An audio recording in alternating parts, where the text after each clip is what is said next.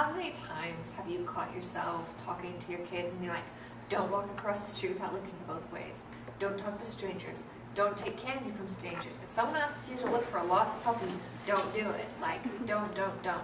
How many times do we tell them, oh, if someone touches you, I want you to kick them as hard as you can, right where it counts.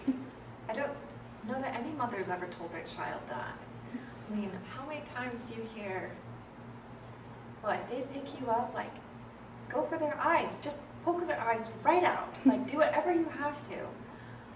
Rad Kids doesn't tell kids what not to do. It helps them come up with a plan for themselves of what they can do. It helps them so that they know what's okay, what's not okay. They realize that it's not their fault for whatever happens. They realize that they can tell someone about it. And they also realize that they're special, they're important, they cannot be replaced. That maybe the big screen TV can be replaced, maybe like the crystal vase can be replaced, but they're irreplaceable. And if something happens to them, you'd never get them back.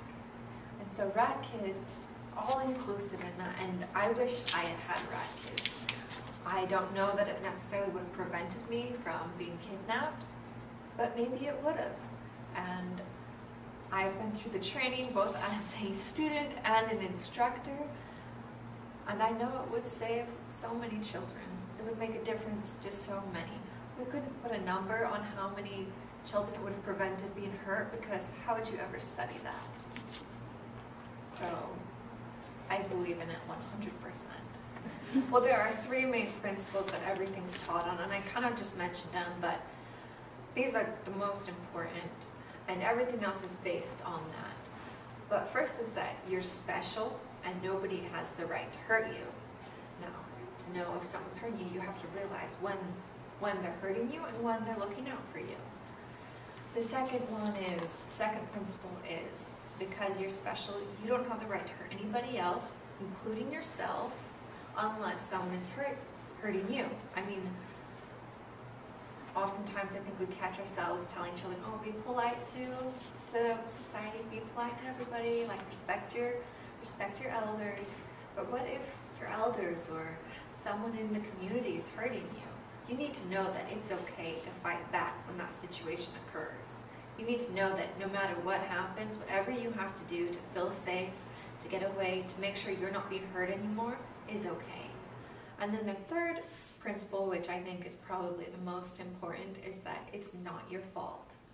I can't tell you how many children I've met, how many women I've met who felt like because they're in an abusive marriage or they were hurt as little kids, it was their fault. It was something they did. Maybe they weren't maybe they weren't good enough, maybe they didn't listen, maybe they spent too much money, maybe it was something, but it is never okay to hurt somebody.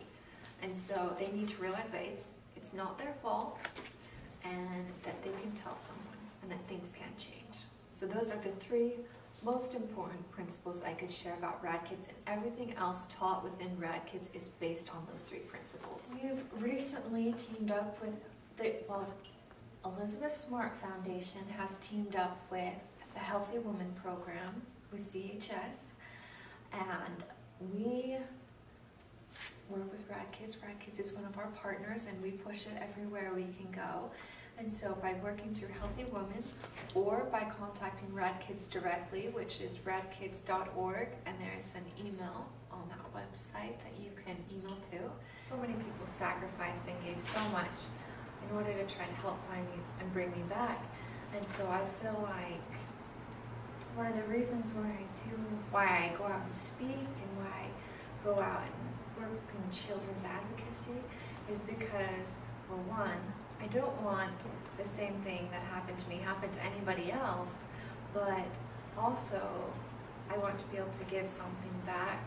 And by sharing my story and talking about what happened and talking about what helped me overcome everything, I want other people to know that they can share their stories as well and that they can, if something bad has happened to them, that they can come forward and talk about it so that issues like sexual abuse and rape and physical abuse, that they can, that they can come into the light and people can do something about it so that we can have a change.